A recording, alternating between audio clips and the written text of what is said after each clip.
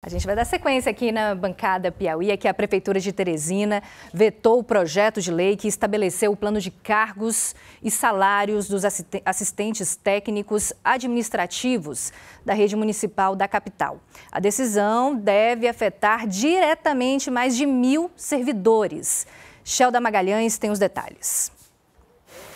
O projeto havia sido aprovado pela Câmara Municipal em dezembro do ano passado e a decisão vai afetar cerca de mil servidores de Teresina. A Prefeitura alegou que o projeto de lei e as emendas aprovadas por vereadores inviabilizaram a sanção devido ao impacto financeiro.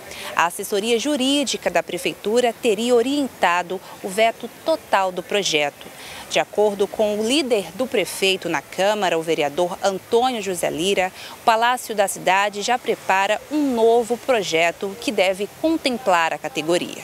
A classe, todo início de ano, tinha que mandar um projeto para ajustar e chegar ao salário, já que hoje recebe 800 reais o prefeito passou num novo projeto de lei para R$ 1.700. O que foi que aconteceu? Quando chegou aqui, apresentaram uma emenda colocando o auxiliar de enfermagem, que já tem a sua classe organizada.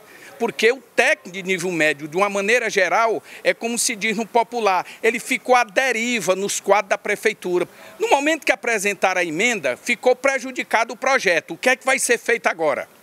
Não tem outra saída.